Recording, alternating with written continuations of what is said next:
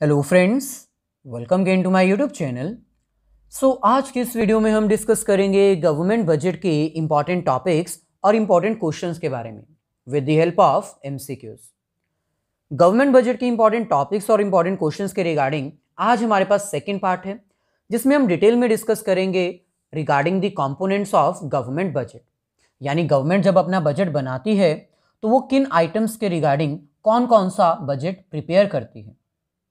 इसके साथ ही इन टॉपिक्स के रिगार्डिंग वीडियो के लास्ट में हम इंपॉर्टेंट एमसीक्यूज एजर्शन और रीजन बेस्ड क्वेश्चन भी अटेंड करेंगे। सो so, सबसे पहले हम बात करते हैं कि आखिरकार वो कौन से एलिमेंट्स हैं वो कौन से कंपोनेंट्स हैं या फिर वो कौन सा स्ट्रक्चर है जिसके थ्रू गवर्नमेंट अपना बजट प्रिपेयर करती है। सो बेसिकली गवर्नमेंट जब अपना बजट प्रिपेयर करती है तो वो दो कंपोनेंट्स को ध्यान में रखती है। पहला गवर्नमेंट को कहाँ से, किस सोर्स से, कब कितना पैसा आएगा। दैट इज़ बजट रिसिट्स इसके बाद जब एक गवर्नमेंट अपनी रिसिट्स को आइडेंटिफाई कर लेती है, गवर्नमेंट ये पता लगा लेती है कि उसको कहाँ से, कब कितना पैसा आएगा, फिर उसके अकॉर्डिंग गवर्नमेंट अपना बजट बनाती है एक्सपेंडिचर्स के रिगार्डिंग और पता लगाती है कि जो पैसा आया है, उसको कहाँ, कैसे, किसके ऊपर कितनी अमाउंट में कंज्यूम किया जाएगा। यानी कितना एक्सपेंडिचर किया जाएगा। अब जैसे कि आपको पता है कि गवर्नमेंट बजट एक एनुअल स्टेटमेंट होती है, जिसके थ्रू गवर्नमेंट ये अनाउंस करती है कि आने वाले साल में हमें कहाँ से कितना पैसा आएगा और हम उस पैसे को कहाँ कैसे यूज़ करेंगे। सो इसके दो ही कंपोनेंट्स होंगे। पहला गवर्नमेंट को कहाँ से कितना पैसा आएगा और दूसरा गवर्नमेंट कहाँ पर कितना पैसा कंज्यूम करेगी। लेकिन रिसिट और एक्सपेंडिचर के भी फर्दर दो सब कॉम्पोनेंट्स हैं। सबसे पहले अगर हम बात करें गवर्नमेंट रिसिट्स की तो रिसिट्स हमारे पास दो तरह की होती है। फ़र्स्ट हमारे पास है रेवेन्यू रिसिट और सेकंड हमारे पास है कैपिटल रिसिट ऐसे ही एक्सपेंडिचर्स भी हमारे पास दो तरह के होते हैं। फ़र्स्ट हमारे पास है रेवेन्यू एक्सपेंडिचर और दूसरा हमारे पास है capital expenditure. So government budget के दो कंपोनेंट्स हैं बजट रिसिट्स जिसके थ्रू हम ये पता लगाते हैं गवर्नमेंट ये पता लगाती है कि उसको कहाँ से कितना पैसा आएगा। दूसरा बजट एक्सपेंडिचर जिसके थ्रू गवर्नमेंट ये फाइंड आउट करती है कि वो कहाँ पर कितना पैसा कंज्यूम करेगी। लेकिन आपको ये भी पता होना चाहिए कि गवर्नमेंट बजट के जो कंपोनेंट्स हैं, उनको हम रेवेन्यू बजट और कैपिटल बजट भी कह सकते हैं। यानी रेवेन्यू नेचर के इनकम और रेवेन्यू नेचर के एक्सपेंडिचर को हम रेवेन्यू बजट कहते हैं। कैपिटल नेचर के इनकम और कैपिटल नेचर के एक्सपेंडिचर को हम कैपिटल बजट भी कहते हैं। सो so, एग्ज़ाम में आपको कंफ्यूज नहीं होना है। टोटल दो ही कंपोनेंट्स हैं। बस दोनों की फॉर्मेशन जो है वो चेंज की गई है। अगर बजट रिसिट आता है तो रेवेन्यू और कैपिटल दोनों ही रिसिट्स हैं। अगर बजट एक्सपेंडिचर आता है तो रेवेन्यू और कैपिटल दोनों तरह के एक्सपेंडिचर्स भी हैं। लेकिन अगर रेवेन्यू बजट के बारे में आपसे पूछा जाता है तो रेवेन्यू बजट का मतलब है रेवेन्यू नेचर के इनकम और रेवेन्यू नेचर के एक्सपेंडिचर्स अगर आपसे कैपिटल बजट के बारे में पूछा जाता है तो कैपिटल नेचर के इनकम और कैपिटल नेचर के एक्सपेंडिचर्स आज हम बेसिकली जो टॉपिक कवर करेंगे इस लेसन में वो होगा बजट रिसिट क्योंकि सबसे पहले गवर्नमेंट यही पता लगाती है कि उसको कहाँ से कितना पैसा आएगा। फिर उसके अकॉर्डिंग एक्सपेंडिचर किया जाता है। सो so, कहाँ से कितना पैसा आएगा उसके बाद कहाँ पर कितना कंजम्पशन किया जाएगा यही बेसिक पैटर्न होता है। कोई भी पर्सन ऐसे तो नहीं कर सकता कि पहले वो पता लगाए कि उसको कहाँ पर कितना खर्चा करना है देन फोर अपनी इनकम का जुगाड़ करे। ऐसा नहीं होता। सबसे पहले ये देखा जाता है कि कहाँ से कितना पैसा आएगा फिर डिसीज़न लिया जाता है कि उसको कैसे कंज्यूम किया जाएगा। सो सेम गवर्नमेंट भी ऐसा ही करती है। इंडियन गवर्नमेंट सबसे पहले ये पता लगाती है कि उसको कहाँ से कितना पैसा आएगा। सो so, आज हम बजट रिसिट्स को विद एग्ज़ाम्पल अंडरस्टैंड करेंगे। सो so, ये हमारे पास है बजट रिसिट्स अब जैसे कि आपको पता है बजट रिसिट्स गवर्नमेंट बजट के कंपोनेंट्स में से फ़र्स्ट कंपोनेंट है। और ये एक ऐसा कंपोनेंट है जिसके थ्रू गवर्नमेंट ये एस्टिमेट करती है कि आने वाले साल में अपकमिंग फाइनेंशियल ईयर में गवर्नमेंट को कहाँ से कितना पैसा आएगा, कब आएगा और कितना पैसा आएगा so budget receipt is the first component of government budget in which government will going to estimate the source of receipt for the upcoming financial year. So budget receipt government budget का first component है जिसके through government ये पता लगाती है ये estimate करती है कि उसको कहाँ से कौन से सोर्स से कब कितना पैसा आएगा। सो so, क्योंकि बजट रिसिट एस्टिमेट्स होते हैं इसीलिए इसमें गवर्नमेंट अपकमिंग फाइनेंशियल ईयर के लिए कहाँ से कितना पैसा आएगा सिर्फ़ इतना ही पता लगाती है क्योंकि ये एक्चुअल अमाउंट नहीं होती। एक्चुअल अमाउंट ज़्यादा भी हो सकती है कम भी हो सकती है। So budget receipt means an estimate of government receipts for the upcoming period from all the sources during a particular period budget receipts का मतलब है गवर्नमेंट के द्वारा अनुमान लगाया गया वो सारा पैसा जो गवर्नमेंट को आने वाले साल में मिल सकता है फ्रॉम द डिफरेंट सोर्सेस और वो सोर्सेस दो हो सकते हैं।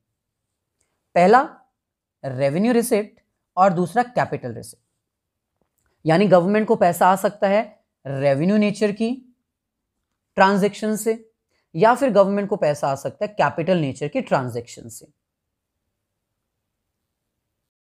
सो चलिए सबसे पहले हम डिस्कस करते हैं कि आखिरकार रेवेन्यू नेचर की रिसिट्स क्या होती हैं। बेसिकली रेवेन्यू नेचर की रिसिट्स कुछ ऐसे सोर्सेज ऑफ़ इनकम होते हैं जो गवर्नमेंट को डेली बेसिस के ऊपर मिलते हैं। ये रेकरिंग नेचर के होते हैं, यानी ये रेगुलर मिलते हैं गवर्नमेंट को डेली बेसिस के ऊपर रिसीव होते हैं। Those receipts which are regular in nature and received by the government from different sources on daily basis is known as revenue receipts revenue receipts कुछ ऐसे सोर्सेज ऑफ़ इनकम होते हैं जो regular nature के होते हैं गवर्नमेंट को daily receive होते हैं।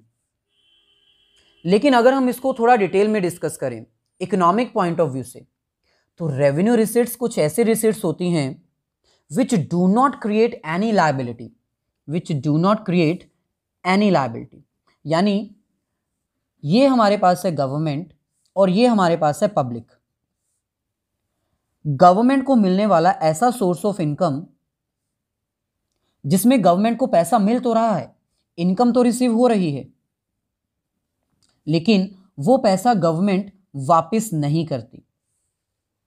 रेवेन्यू रिसिट्स कुछ ऐसे इनकम्स होती हैं जिसमें गवर्नमेंट को पैसा तो मिलता है लेकिन वो पैसा गवर्नमेंट वापस नहीं करती। यानी गवर्नमेंट की कोई लाइबिलिटी इंक्रीज नहीं होती।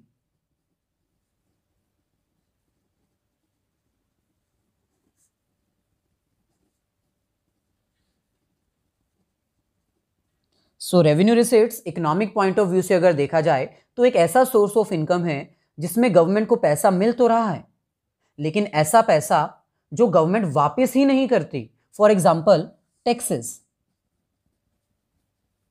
जब आप गवर्नमेंट को टैक्स पे करते हो तो वो गवर्नमेंट के पास पैसा आ जाता है, लेकिन वो टैक्सेस के बदले में गवर्नमेंट आपको इमीडिएटली कुछ भी सप्लाई नहीं करती। गवर्नमेंट ये नहीं कहती कि आप टैक्स दोगे तो बदले में हम तुरंत आपको कोई गिफ्ट देंगे।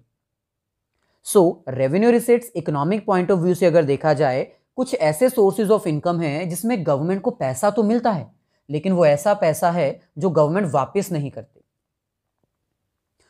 And it does not reduce the assets of the government second point भी है हमारे पास। दूसरी तरफ़ हमें लिखा है, ऐसा इनकम जिसमें गवर्नमेंट को पैसा तो मिलता है, ऐसा पैसा या फिर ऐसा इनकम जो गवर्नमेंट को रिसीव तो होता है, लेकिन बदले में गवर्नमेंट को अपनी कोई एसेट सेल नहीं करनी पड़ती। यानी गवर्नमेंट अपनी कोई एसेट नहीं बेचती है, जिसके कारण गवर्नमेंट की कोई एसेट भी रिड्यूस नहीं होती।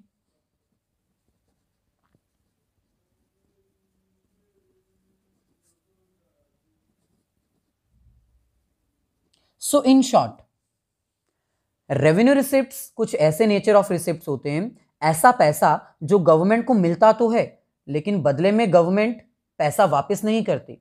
ऐसा पैसा जो गवर्नमेंट को मिलेगा, लेकिन गवर्नमेंट वो पैसा वापस नहीं करेगी, यानी गवर्नमेंट की कोई लाइबिलिटी अराइज नहीं होगी। या फिर ऐसा पैसा जो गवर्नमेंट को मिल तो रहा है, लेकिन बदले में गवर्नमेंट अपनी कोई एसेट नहीं बेच रही है। गवर्नमेंट ने अपना कोई गवर्नमेंट स्कूल नहीं बेचा है, फिर भी गवर्नमेंट को पैसा मिल रहा है। For example fees fine penalty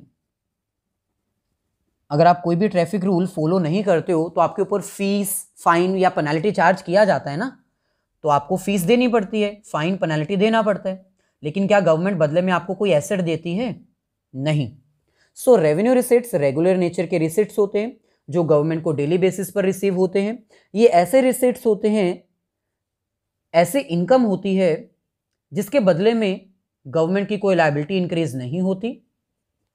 और गवर्नमेंट की कोई एसेट भी कम नहीं होती। So no increase in asset no decrease in no increase in liability and no decrease in assets so next हमारे पास है सोर्सेज ऑफ़ रेवेन्यू रिसिट्स अब जैसे कि हमने आपको बताया रेवेन्यू रिसिट्स कुछ ऐसे रिसिट्स होते हैं जिससे गवर्नमेंट की लाइबिलिटी भी बढ़ती नहीं है और एसेट भी कम नहीं होती है। यानी गवर्नमेंट को मिलने वाला ऐसा पैसा जिसके बदले में गवर्नमेंट कोई एसेट नहीं देगी और पैसा भी वापस नहीं करेगी, वो पैसा गवर्नमेंट का ही हो जाएगा। अब हमें ये अंडरस्टैंड करना है कि गवर्नमेंट को ऐसा पैसा कहाँ से मिलता है, जिसके बदले में ना ही लाइबिलिटी बढ़ती है गवर्नमेंट की और ना ही एसिड कम होती है। सो टू सोर्सेज हमारे पास हैं।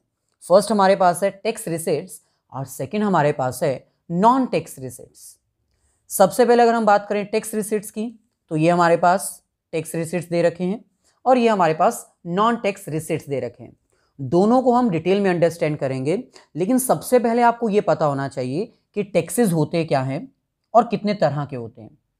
बेसिकली टैक्सेस जो होते हैं, वो एक तरह से ना कंपल्सरी पेमेंट होती है, जो कि गवर्नमेंट को हमें पे करनी ही होती है। फ़र्स्ट हमारे पास है progressive tax and regressive tax सबसे पहले अगर हम बात करें प्रोग्रेसिव टैक्स की तो प्रोग्रेसिव टैक्स एक ऐसा टैक्स सिस्टम होता है, जिसके अकॉर्डिंग टैक्स चार्ज किया जाता है प्रोग्रेसिव वे में। यानी जिसकी इनकम ज़्यादा होगी, उसके ऊपर ज़्यादा टैक्स चार्ज किया जाएगा और जिसकी इनकम कम होगी, उसके ऊपर कम टैक्स चार्ज किया जाएगा। High income higher tax and low income lower tax so इसको हम कहते हैं प्रोग्रेसिव टैक्स इंडिया में प्रोग्रेसिव टैक्स ही फॉलो किया जाता है, क्योंकि इनकम टैक्स के अकॉर्डिंग जिस बंदे की इनकम ज़्यादा होती है, उसके ऊपर ज़्यादा टैक्स चार्ज किया जाता है, और जिस बंदे की इनकम कम होती है, उसके ऊपर कम टैक्स चार्ज किया जाता है. इसी के साथ सेकंड हमारे पास है रिग्रेसिव टैक्स अब रिग्रेसिव टैक्स प्रोग्रेसिव टैक्स के ऑपोजिट है.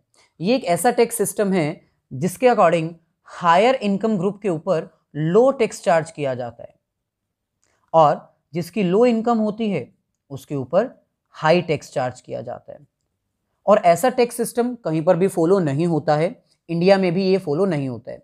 जिसकी इनकम ज़्यादा होगी उसके ऊपर कम टैक्स होगा ऐसा बिल्कुल भी नहीं है। और जिसकी इनकम कम है उसके ऊपर ज़्यादा टैक्स होगा ऐसा इंडिया में तो बिल्कुल भी नहीं है।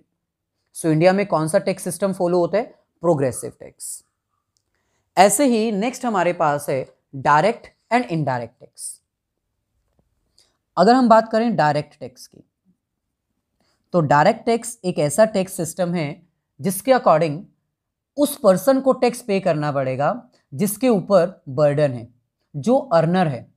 फॉर एग्ज़ाम्पल अगर हम बात करें इनकम टैक्स की तो जिसकी इनकम है टैक्स भी तो उसी को देना पड़ेगा ना? प्रॉपर्टी टैक्स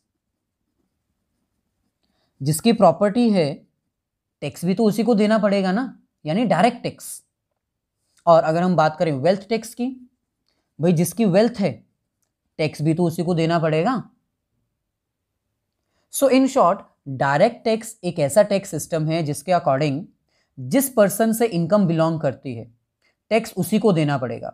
ये ऐसा टैक्स सिस्टम है जिसमें हम अपना टैक्स का बर्डन जो है वो ट्रांसफ़र नहीं कर सकते. Tax burden can not be shifted हम अपना टैक्स बर्डन जो है, वो किसी दूसरे बंदे के ऊपर शिफ्ट नहीं कर सकते, क्योंकि जिसकी इनकम होगी, उसी को टैक्स देना भी पड़ेगा। दूसरी तरफ़ इनडायरेक्ट टैक्स डायरेक्ट टैक्स के ऑपोजिट होता है। ये एक ऐसा टैक्स सिस्टम है, जिसके अकॉर्डिंग हम अपना टैक्स का बर्डन किसी दूसरे बंदे के ऊपर शिफ्ट भी कर सकते हैं। जैसे GST goods and service tax इसके अकॉर्डिंग जो फाइनल कंज्यूमर होगा टैक्स का बर्डन उसी के ऊपर शिफ्ट किया जाएगा। जैसे मान लो मैन्युफैक्चरर ने अपना प्रोडक्ट मैन्युफैक्चर करके होल सेलर को सेल कर दिया। होल सेलर ने ये आगे सेल कर दिया रिटेलर को। रिटेलर ने ये आगे सेल कर दिया फाइनल कस्टमर को। तो टैक्स बर्डन शिफ्ट होता गया। मैन्युफैक्चरर ने अपना टैक्स वसूल किया होलसेलर से। होलसेलर ने अपना टैक्स वसूल किया रिटेलर से। रिटेलर ने अपना टैक्स वसूल किया फाइनल कस्टमर से और कस्टमर ने आगे तो किसी को प्रोडक्ट सेल नहीं किया। इसमें तो फाइनल कंजम्पशन हो गई ना कस्टमर के द्वारा। तो फाइनल टैक्स बर्डन जो है वो फाइनली किसको देना पड़ेगा? फाइनल कस्टमर को। सो इनडायरेक्ट टैक्स एक ऐसा सिस्टम होता है जिसके अकॉर्डिंग टैक्स बर्डन जो है वो शिफ्ट किया जा सकता है। और इंडिया में डायरेक्ट और इनडायरेक्ट दोनों तरह के टैक्स सिस्टम्स फॉलो किए जाते हैं। सो so, इसका मतलब टैक्स एक कंपलसरी बर्डन है पब्लिक के ऊपर, जो पब्लिक को देना ही पड़ेगा गवर्नमेंट को, और क्योंकि ये ऐसा इनकम है गवर्नमेंट का, जिसमें गवर्नमेंट को पैसा मिलता तो है, लेकिन गवर्नमेंट वापस नहीं करती है वो पैसा, और ना ही कोई एसेट देती है। इसीलिए ये गवर्नमेंट की क्या है? रेवेन्यू रिसिट्स जिससे गवर्नमेंट की लाइबिलिटी भी नहीं बढ़ती और एसेट भी कम नहीं होती। फ़र्स्ट इसमें हमारे पास आता है इनकम टैक्स जिसकी इनकम उसके ऊपर टैक्स चार्ज किया जाएगा। हायर इनकम तो हायर टैक्स, लोअर इनकम तो लोअर टैक्स। सो, इनकम के ऊपर टैक्स चार्ज किया जाता है, इसलिए ये डायरेक्ट टैक्स है। सेकेंड हमारे पास है कॉरपोरेट टैक्स। कॉरपोरेट टैक्स जो है, वो कंपनीज़ के ऊपर चार्ज किया जाता है। क्योंकि जो बिज़नेस ऑर्गेनाइजेशंस होती हैं, वो इनकम तो अर्न नहीं करती हैं, वो प्रॉफिट अर्न करती हैं। सो, कॉरपोरेट टैक्स कंपनीज़ के ऊपर चार्ज किया जाता है, उनके प्रॉफिट के ऊपर चार्ज किया जाता है। और ये भी डायरेक्ट टैक्स ही है। कस्टम ड्यूटी में हमारे पास आता है एक तरह से import duty and export duty अगर आप कुछ भी इंपोर्ट एक्सपोर्ट करते हो फॉरेन से कोई प्रोडक्ट तो उसके ऊपर ये टैक्स चार्ज किया जाता है। अब क्योंकि ये गुड्स के ऊपर चार्ज किया जाता है, इसलिए ये इनडायरेक्ट टैक्स है। इसका फाइनल बर्डन कस्टमर को ही देना पड़ेगा। एक्साइज ड्यूटी अब नहीं है, पहले होती थी एक्साइज ड्यूटी होती है मैन्युफैक्चरिंग टैक्स मतलब जो भी प्रोडक्ट बनाया जाएगा, उसके ऊपर टैक्स लगाया जाता था। अब ये जीएसटी में मर्ज कर दिया गया है, अब डायरेक्टली जीएसटी लगता है। सो एक्साइज ड्यूटी भी इनडायरेक्ट टैक्स है और जीएसटी तो इनडायरेक्ट टैक्स है ही, जिसमें गुड्स और सर्विसेज़ के ऊपर टैक्स चार्ज किया जाता है। सो ये सारे गवर्नमेंट के टैक्स रिसिट्स है, जिसमें गवर्नमेंट को पैसा मिलता तो है, लेकिन गवर्नमेंट को वो पैसा वापस नहीं करना होता है। यानी ना ही एसेट बढ़ती है और ना ही लाइबिलिटी कम होती है। दूसरी तरफ़ हमारे पास है non tax receipts so non tax receipts में फ़र्स्ट हमारे पास आता है फ़ीस अब फ़ीस भी गवर्नमेंट का एक रेवेन्यू नेचर का ही रिसिट है। अब आप कोई भी पब्लिक सर्विसेज़ यूज़ करते हो, जैसे डेथ सर्टिफिकेट बर्थ सर्टिफिकेट या फिर कोई भी आपको अगर पब्लिक डॉक्यूमेंट चाहिए होता है तो उसके लिए आपको एक नॉमिनल फ़ीस पे करनी होती है। फॉर एग्ज़ाम्पल रजिस्ट्रेशन फ़ीस आपकी स्कूल की तरफ़ से एक रजिस्ट्रेशन फ़ीस वसूली जाती है।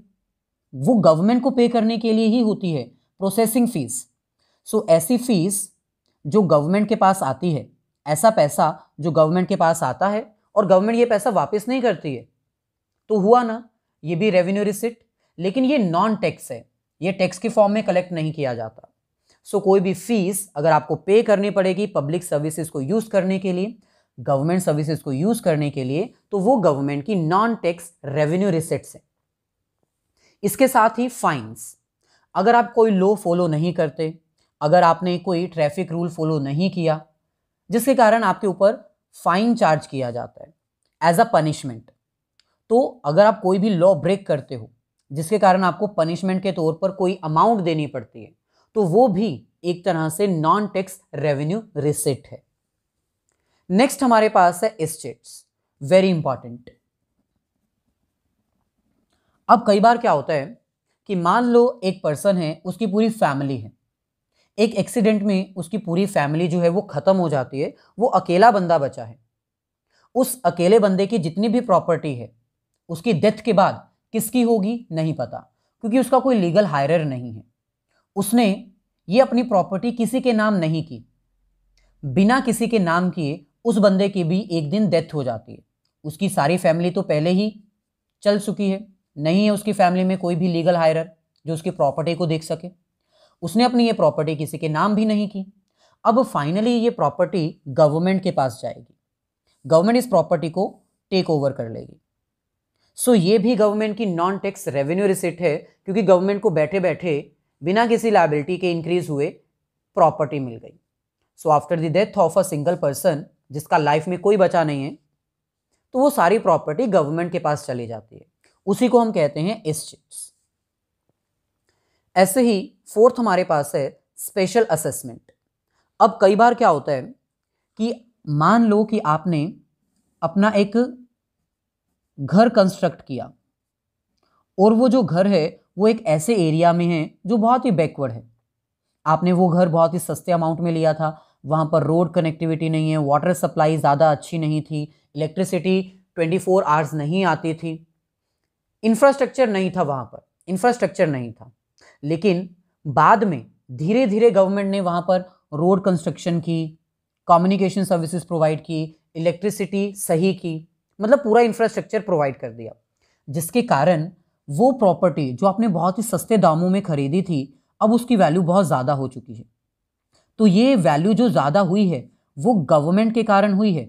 और अगर गवर्नमेंट चाहे तो इस इंक्रीज्ड वैल्यू के ऊपर अपना अमाउंट चार्ज कर सकती है।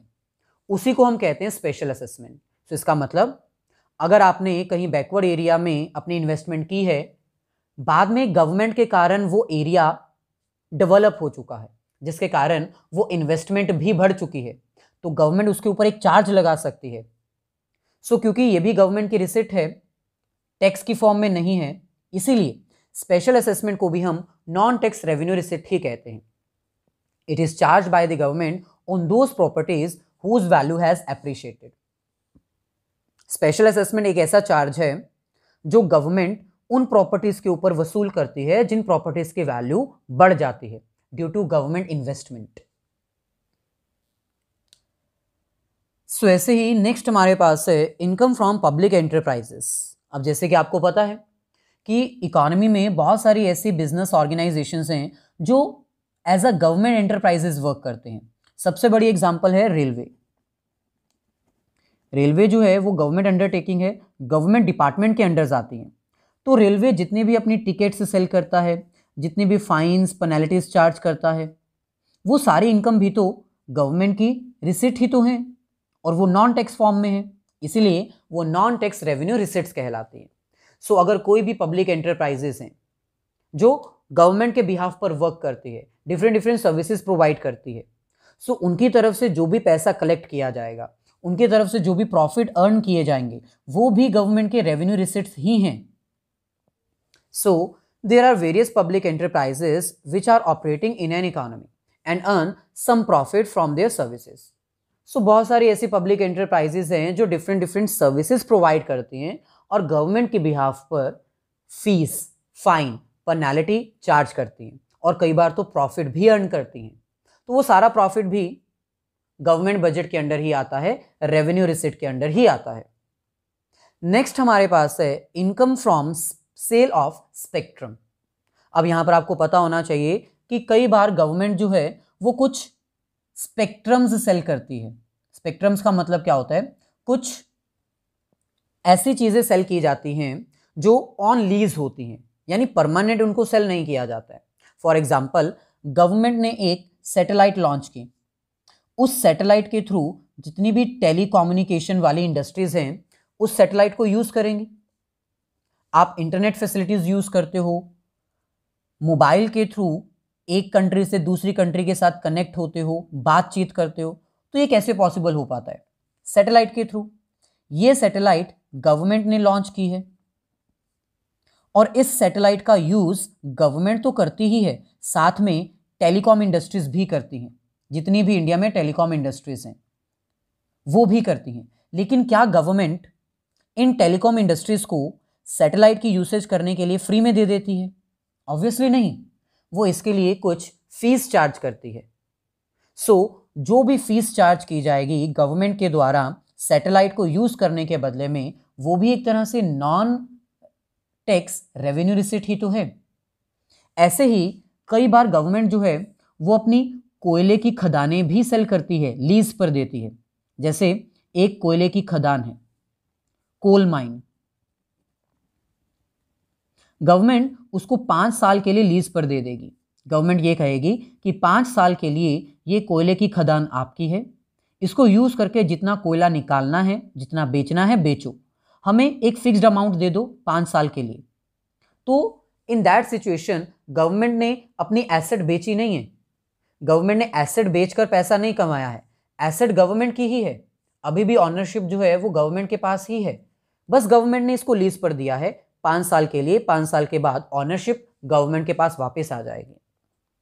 सो so, इसको हम कहते हैं income from sale of spectrum अगर गवर्नमेंट अपने स्पेक्ट्रम सेल करती है या फिर लीज पर कुछ प्रोवाइड करती है इन दैट सिचुएशन गवर्नमेंट की ये कहलाती है non revenue non tax revenue receipt इसके अलावा अदर जो इनकम्स होती हैं जिसमें डिविडेंड आ जाता है इंटरेस्ट इनकम्स आ जाती हैं ग्रांट डोनेशंस चैरिटी वो सब भी गवर्नमेंट की नॉन टैक्स रेवेन्यू रिसिट्स ही होती हैं।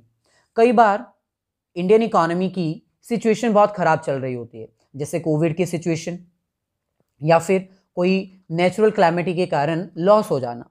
तो इस लॉस के कारण बहुत सारे डोनेशंस आते हैं ग्रांट्स आती हैं चैरिटीज़ आती हैं ये सब भी नॉन टैक्स रेवेन्यू रिसिट्स ही कहलाती हैं।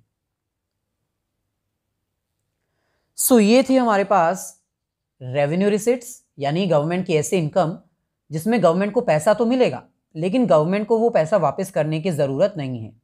यानी एसेट बढ़ेगी नहीं। और ये ऐसी इनकम होती है जो गवर्नमेंट बिना एसेट बेचे कमाती है यानी एसेट कम होगी नहीं। सो so, ऐसे ही नेक्स्ट हमारे पास है कैपिटल रिसिट्स जो कि रेवेन्यू रिसिट के ऑपोजिट है। रेवेन्यू रिसिट्स कुछ ऐसी रिसिट्स होती हैं जिसमें गवर्नमेंट को पैसा आता तो है लेकिन ऐसा पैसा जिसमें गवर्नमेंट को वो अमाउंट वापस नहीं करनी होती है, यानी लाइबिलिटी नहीं बढ़ती है और एसेट भी कम नहीं होती है। जबकि कैपिटल रिसिट्स कुछ ऐसे नेचर्स ऑफ़ ट्रांजेक्शन होती हैं गवर्नमेंट को मिलने वाली ये ऐसी इनकम होती है जिसके कारण या तो गवर्नमेंट की लाइबिलिटी बढ़ जाती है या फिर एसेट कम हो जाती है।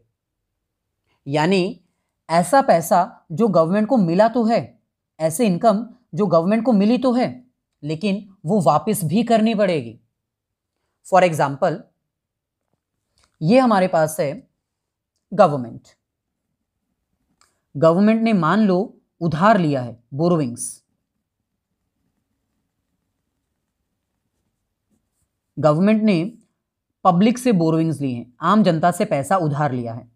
तो ये गवर्नमेंट की रिसिट्स हैं गवर्नमेंट को पैसा मिल रहा है, लेकिन भाई, ये गवर्नमेंट को पैसा वापस भी करना पड़ेगा। यानी कुछ ऐसे रिसिट्स जिसमें गवर्नमेंट को पैसा मिलता तो है, लेकिन वो पैसा वापस ही करना पड़ता है। यानी गवर्नमेंट की लाइबिलिटी इंक्रीज होंगी।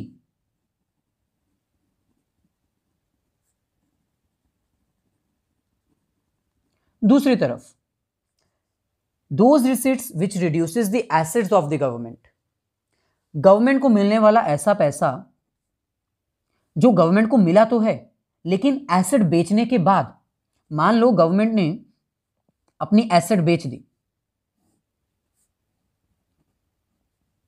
Sale of government hospital government ने अपना गवर्नमेंट हॉस्पिटल की पूरी की पूरी बिल्डिंग बेच दी तो बदले में गवर्नमेंट को पैसा मिलेगा। लेकिन यह पैसा कैसे मिला है? एसेट को बेचने के बाद। सो so, दोनों में से एक सिचुएशन ज़रूर प्रिवेल करेगी। कैपिटल रिसेट्स कुछ ऐसे रिसेट्स होती हैं जिसमें गवर्नमेंट को पैसा मिलता तो है लेकिन वो पैसा वापस भी करना पड़ता है यानी गवर्नमेंट की लाइबिलिटी बढ़ सकती है। या फिर ऐसे इनकम ऐसे रिसेट जिसमें गवर्नमेंट को पैसा मिलता तो है लेकिन एसेट बेचने के बाद। सो so, ऐसे रिसेट जिससे गवर्नमेंट की लाइबिलिटी रिड्यूस हो जाए एसेट्स रिड्यूस हो जाए। सो so, यहाँ पर हमें कह रहे हैं those receipts which either increases the liability और decreases the assets of the government is called as capital receipts ऐसा सोर्स ऑफ़ इनकम जिससे गवर्नमेंट की लाइबिलिटी बढ़ जाए या फिर एसेट कम हो जाए, उसको हम कहते हैं कैपिटल रिसिट जैसे गवर्नमेंट ने अगर उधार लिया है तो है तो ये रिसिट लेकिन वापस भी तो करनी पड़ेगी ना, इसलिए लाइबिलिटी इंक्रीज हो रही है। दूसरी तरफ़ ऐसे रिसिट जिसमें गवर्नमेंट को पैसा मिल तो रहा है, लेकिन एसेट बेचने के बाद। तो पैसा तो मिल रहा है, लेकिन एसेट भी तो जा रही है रिडक्शन इन एसेट्स सो अगर हम इसकी एग्जांपल्स बताना चाहें तो ये हमारे पास थ्री एग्जाम्पल्स गिवन है। फ़र्स्ट हमारे पास है रिकवरी ऑफ़ लोन मान लो इंडियन गवर्नमेंट ने इंडियन गवर्नमेंट ने, पाकिस्तान गवर्नमेंट को उधार दिया था। लैंडिंग की थी। पैसा उधार दिया था। अब अगर ये पैसा वापस मिल जाए, पाकिस्तान की गवर्नमेंट ये पैसा हमें वापस कर दे। रिकवरी हो जाए हमें हमारे पैसे की। तो गवर्नमेंट को पैसा आ रहा है। यानी ये रिसिट है। लेकिन कौन सी? कैपिटल नेचर की। क्यों? क्योंकि जब गवर्नमेंट ने पैसा वापस कर दिया, जब पाकिस्तान की गवर्नमेंट ने पैसा वापस कर दिया तो एसेट कम हो गई ना। क्योंकि पहले जब हमने उधार दिया था तब हमारी एसेट बढ़ रही थी क्योंकि हमने पाकिस्तान की गवर्नमेंट से पैसा वापस लेना था। अब पाकिस्तान की गवर्नमेंट ने पैसा वापस कर दिया तो अब हम दोबारा पैसा तो नहीं मांग सकते जिसके कारण एसेट कम हो गई। सो so, पाकिस्तान की गवर्नमेंट ने इंडियन गवर्नमेंट को जो पैसा दिया वो कैपिटल रिसिट कहलाएगी। क्यों? क्योंकि एसेट कम हो रही है। ऐसे ही सेकेंड एग्ज़ाम्पल है बोरोइंग्स एंड अदर लाइबिलिटीज मान लो इंडियन गवर्नमेंट ने अमेरिका की गवर्नमेंट से उधार लिया। बोरोइंग्स तो ये जो बोरोइंग्स हैं, इसके कारण इंडियन की गवर्नमेंट को पैसा मिलेगा। यानी ये रिसिट्स हैं, लेकिन कौन सी रिसिट्स हैं? कैपिटल नेचर की। क्यों? क्योंकि इससे गवर्नमेंट की लाइबिलिटी बढ़ रही है। क्योंकि ये पैसा गवर्नमेंट को वापस भी तो करना पड़ेगा। और finally other receipts other receipts में हमारे पास क्या आता है? सेल ऑफ़ एसेट अगर गवर्नमेंट अपनी एसेट बेच देती है और बदले में उसको इनकम मिलती है तो ये भी कैपिटल रिसिट कहलाएगा क्योंकि इससे गवर्नमेंट की एसेट कम हो रही है। सो so, अगर आपको अंडरस्टैंड करना है कि कौन सी कैपिटल रिसिट है तो बस आपको ये दो कंडीशंस चेक करनी है एसेट्स और लाइबिलिटी अगर एसेट कम हो रही है या फिर लाइबिलिटी बढ़ रही है तो वो कैपिटल रिसिट्स के अंडर ही आएगा। सो ये था हमारे पास आज का टॉपिक अब इसी टॉपिक के ऊपर बेस्ड हम कुछ इंपॉर्टेंट एमसीक्यूज और अजर्शन और रीजन बेस्ड क्वेश्चन ट्राई करते हैं. वीडियो को लाइक और शेयर ज़रूर कर दीजिएगा. सो so, ये हमारे पास कुछ important MCQs based on the topic हम डायरेक्टली क्वेश्चन रीड करेंगे और उसका आंसर बताएँगे. आप वीडियो को पोस्ट करके उसका आंसर प्रिडिक्ट करके अपने आंसर्स को वेरीफाई कर सकते हैं. सो so, फ़र्स्ट हमारे पास है which of the following is a non tax receipt कौन सा एक नॉन टैक्स रिसिट है? सो so, इसका करेक्ट आंसर है डोनेशन क्योंकि बाकी सब जो हैं वो टैक्स रिसिट्स हैं। सेकेंड हमारे पास है progressive tax is a tax which is progressive tax कैसा टैक्स है? सो so, इसका करेक्ट आंसर है ऑप्शन बी प्रोग्रेसिव टैक्स एक ऐसा टैक्स होता है जिसमें इंक्रीज रेट के अकॉर्डिंग हायर इनकम के ऊपर ज़्यादा टैक्स चार्ज किया जाता है। नेक्स्ट हमारे पास है government earned by the revenue earned by the government from the property without any legal heir is called ऐसी प्रॉपर्टी से पैसा कमाना जिसका कोई वाली वारिस नहीं बचा है, उसको क्या कहते हैं? इसका करेक्ट आंसर है ऑप्शन बी एस्टेट ऐसे ही फोर्थ क्वेश्चन हमारे पास है a tax the burden of which can be shifted on to other is called वो कौन सा टैक्स सिस्टम है जिसमें हम बर्डन जो है वो शिफ्ट कर सकते हैं? सो so, इसका करेक्ट आंसर है इनडायरेक्ट टैक्स क्योंकि इनडायरेक्ट टैक्स का बर्डन जो है वो शिफ्ट किया जा सकता है। फिफ्थ क्वेश्चन हमारे पास है which one of the following is an indirect tax so इसका करेक्ट आंसर है एक्साइज ड्यूटी क्योंकि वो एक इनडायरेक्ट टैक्स है। सिक्स क्वेश्चन हमारे पास है tax the impact of which lie on the person on whom it is legally impose वो कौन सा टैक्स है जिसका बर्डन शिफ्ट नहीं किया जा सकता? वो टैक्स उसी को देना पड़ेगा जिसके ऊपर वो इम्पोज किया जाता है। तो इसका करेक्ट आंसर है option B direct tax so next हमारे पास है एजर्शन और रीजन बेस्ड क्वेश्चन सबसे पहले तो आपको ये पता होना चाहिए कि एजर्शन और रीजन बेस्ड क्वेश्चन में हमारे पास जो चार ऑप्शन होते हैं, उसमें पहला ऑप्शन होता है अजर्शन ट्रू है रीज़न ट्रू है लेकिन एक्सप्लेनेशन भी ट्रू है। अजर्शन ट्रू है रीज़न ट्रू है एक्सप्लेनेशन गलत है यानी एक्सप्लेनेशन नहीं है। ऑप्शन सी एजर्शन ट्रू है रीज़न फॉल्स है और ऑप्शन डी अजर्शन फॉल्स है और रीज़न ट्रू है। सो so, इसके अकॉर्डिंग आपको ये सारे आंसर्स प्रोवाइड करने हैं। फ़र्स्ट हमारे पास है assertion dividend received on investment is the revenue receipt of the government. तो ये स्टेटमेंट एब्सोल्युटली ट्रू है। अगर गवर्नमेंट को इन्वेस्ट किए गए पैसे के ऊपर कोई डिविडेंड रिसीव होता है तो वो एक तरह से रेवेन्यू रिसिट है। क्यों रेवेन्यू रिसिट है? क्योंकि रेवेन्यू रिसिट से गवर्नमेंट की एसेट और लाइबिलिटी के ऊपर ना कोई इंक्रीज होता है, ना कोई डिक्रीज होता है। तो एजर्शन और रीजन दोनों ट्रू दे रखे हैं और दोनों के बीच में प्रॉपर एक्सप्लेनेशन भी गिवन है। तो आपका करेक्ट आंसर होगा ऑप्शन ए ऐसे ही नेक्स्ट हमारे पास है assertion revenue deficit is a part of physical deficit ये स्टेटमेंट बिल्कुल सही है। फ़िज़िकल डेफिसिट और रेवेन्यू डेफिसिट दोनों एक ही टॉपिक के अंडर कवर किए जाते हैं बजट डेफिसिट के अंडर। सो so, एजर्शन जो है वो हमारा एब्सोल्युटली ट्रू है।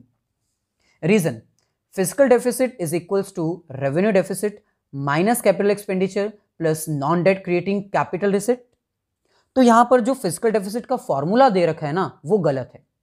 क्योंकि फ़िज़िकल डेफिसिट का फॉर्मूला हमारे पास ये नहीं होता।